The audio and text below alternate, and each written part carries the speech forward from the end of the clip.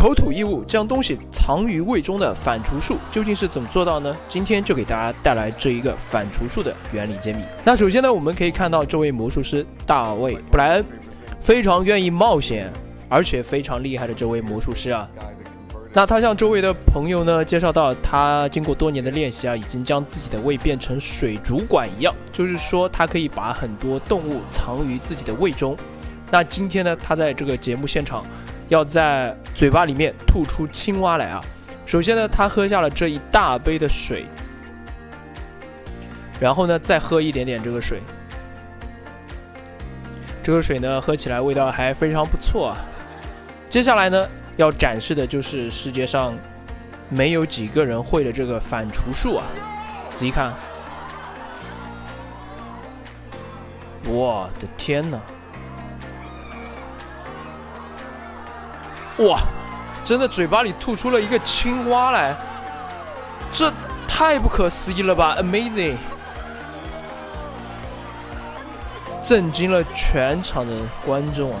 在很久以前呢，其实已经有魔术师开始练习这个反刍术啊。大家看到这位魔术师呢，不断的在口中喷出这个煤油啊，喷向这个火。他不仅仅能够喷出煤油，而且还能将胃中的水喷出来。那这个反刍术呢，需要经过长时间的练习啊。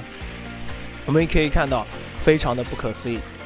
那么今天呢，飞哥就带大家看一看这个原理背后究竟是怎么做到的。我们进入揭秘时刻。反刍行为是指动物将胃内的食物倒流回口腔，再次进行咀嚼的行为。而魔术师要表演口吐青蛙，就需要练习反刍。